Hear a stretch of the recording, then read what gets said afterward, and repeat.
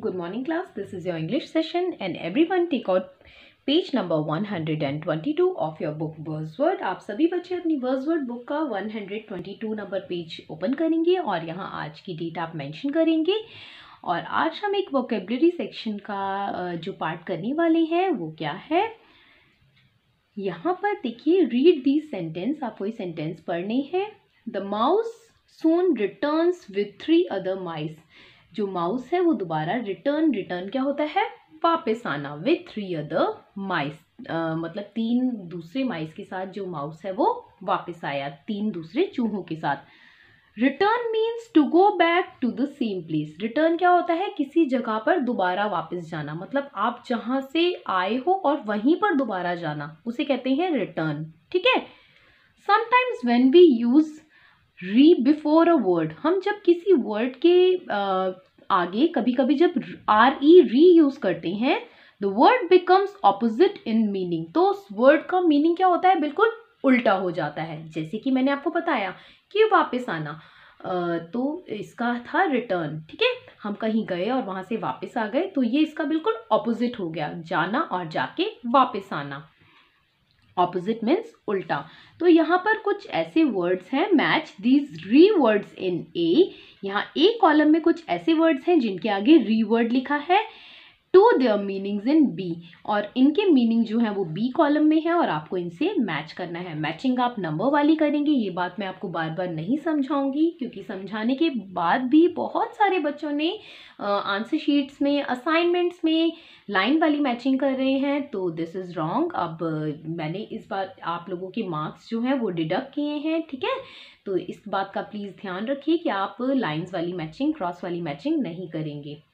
आपका first word है reopen reopen means क्या होता है? ओपन होता है, खोलना. और रीओपन किसी चीज़ को दोबारा खोलना. ठीक है? Reopen means to open again something that was closed किसी चीज़ को दोबारा खोलना दैट वॉज़ क्लोज जो कि बंद की जा चुकी थी, ठीक है? आपने मान लीजिए किसी बॉटल को आपने ओपन किया और फिर उसे दोबारा से क्लोज करके फिर से ओपन किया तो उसे बोलेंगे रीओपन करना। जैसे आपने बुक को बंद किया और उसको दोबारा खोला तो that is called reopen repaint या पेंट होता है किसी चीज़ को पेंट करना और रीपेंट उसके ऊपर आपने दोबारा से पेंट कर दिया तो वो रीपेंट हो गया। और इसको आप सी से मैच करेंगे to cover something with paint again यानी किसी चीज़ को दोबारा से पेंट करना, दोबारा से कवर करना, या दोबारा से ऑलरेडी जो चीज़ पेंट है उसको दोबारा से पेंट करके कवर करना, ठीक है? रीयूज़ यूज़ क्या होता है? इस्तेमाल करना और रीयूज़ उसका दोबारा इस्तेमाल करना, ठीक है?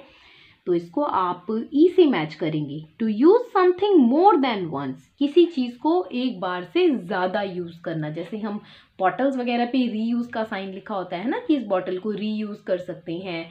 या फिर जैसे कि पॉलीथिन बैग्स होते हैं कैरी बैग्स होते हैं, हम उसमें कुछ सामान लाते हैं, फिर हम उसको दोबारा से संभाल के रख देते हैं ना कि कभी दोबारा सामान लाना होगा तो हम इसमें ले आएँगे तो उसको रीयूज़ बोलते हैं।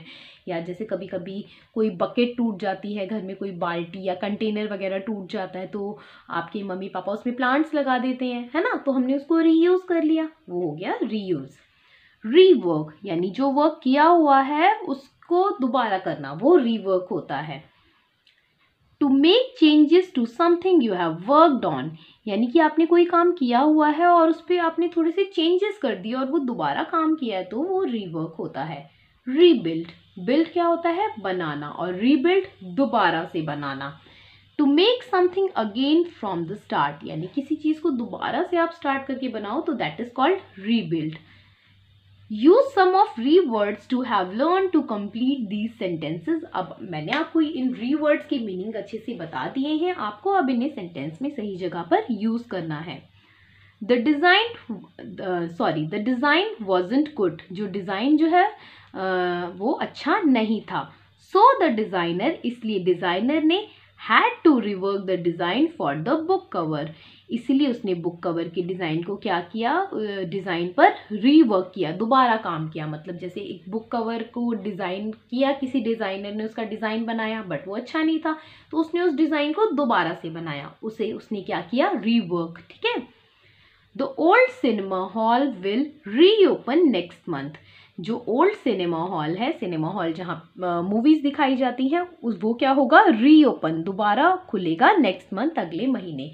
यानी कोई सिनेमा हॉल जो है, वो बंद हो गया था और अब वो क्या होगा? रीओपन दोबारा से खुलेगा. The army had to rebuild the broken bridge for the trucks to pass जो आर्मी है, उसे रीबिल्ड यानी दोबारा से उसका निर्माण करना पड़ेगा। किसका? ब्रोकन ब्रिज यानी टूटे टूटे हुए पुल का। For the trucks to pass जिससे उसके ऊपर से ट्रक्स जो है वो गुजर चुके गुजर सके, ठीक है?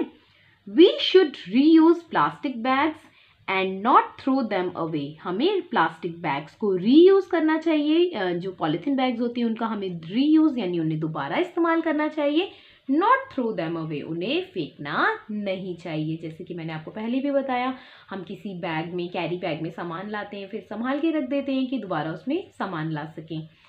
If the car is scratched अगर कार जो है वो स्क्रैच है, यानी कार के ऊपर खरोचे आ गई है we will need to repaint it हमें इसे क्या करना पड़ेगा? रीपेंट करना पड़ेगा। ओके क्लास तो आई होप जो आज का वर्क है काफ़ी इजी था।